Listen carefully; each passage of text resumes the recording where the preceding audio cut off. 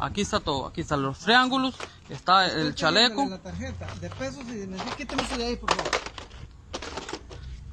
Quítame eso de aquí porque esto es un vehículo público. Señor, pero ¿por qué usted me vota eso? Porque O sea, ¿por no qué se lo vota? ¿Ah? no ¿Pero por qué lo vota? ¿Por qué lo vota? Pero, Se va a poner de malcriado. pero. ¿por qué? Yo no, de yo no estoy de malcriado. señor. Yo no estoy de malcriado. lo que el señor le está diciendo. Sí, pero y yo- apague ese celular. ¿Pero por qué? Apague el celular. Yo de malcriado no Apague el celular. Señor, un ¿Usted momento, quiere que lo no enchante? estoy. ¿Quiere que lo Esta situación se presentó el martes en Paso Canoas, en el Cantón de Corredores, y fue compartido en la página en Facebook de Accidentes de Costa Rica. Se muestra un nuevo enfrentamiento entre un conductor y un oficial de tránsito.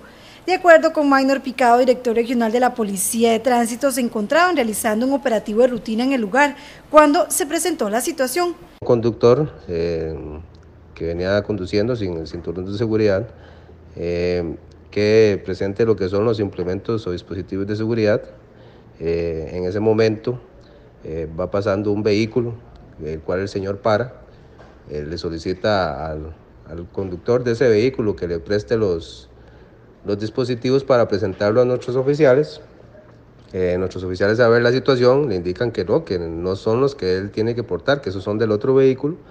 Eh, empieza con una discusión con, con- nuestros oficiales por la situación.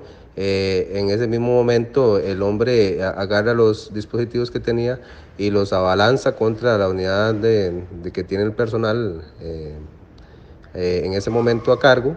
Eh, se le indica que eh, no lo haga porque puede causar un daño a nuestros equipos policiales.